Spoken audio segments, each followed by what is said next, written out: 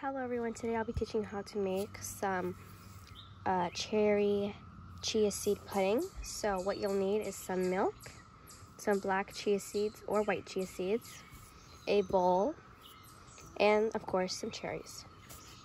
So we're going to start off by washing your cherries. So let's wash these cherries.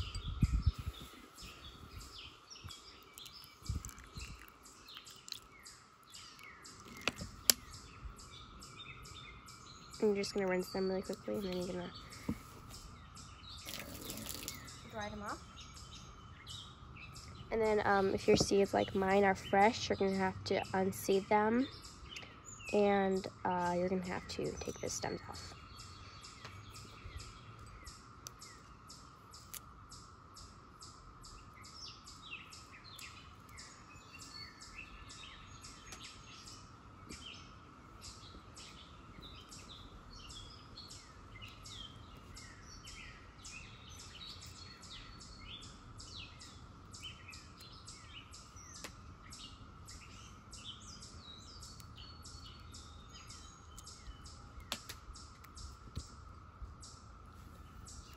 Oops, drop them.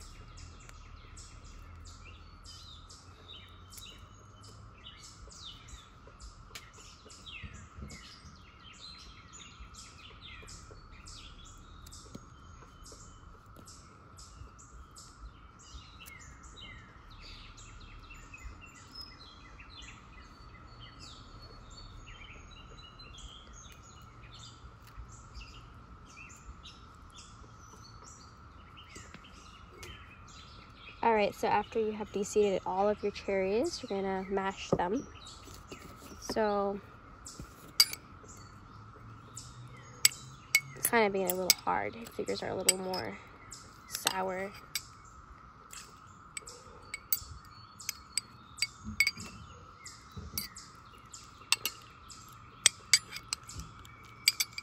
And if you want, you can mash them and then um, put that at the bottom of your cup.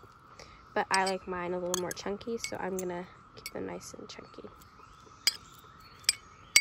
And you do not want to drain those juices because that's going to give it a lot of flavor.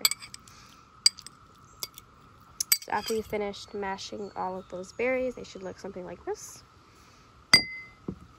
You're to put that, uh, actually, you know what, we're to just get our milk and then you're going to pour it in your little container, the one that you're going to keep it in.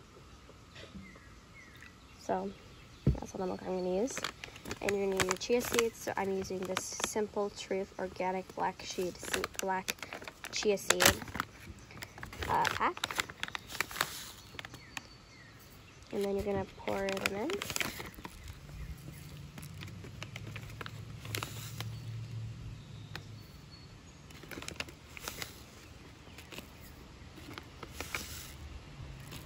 And then you're going to stir them up.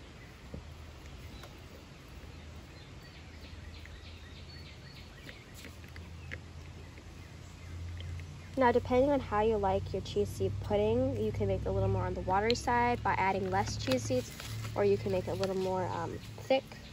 I like mine kind of in between, so I'm going to put about that much.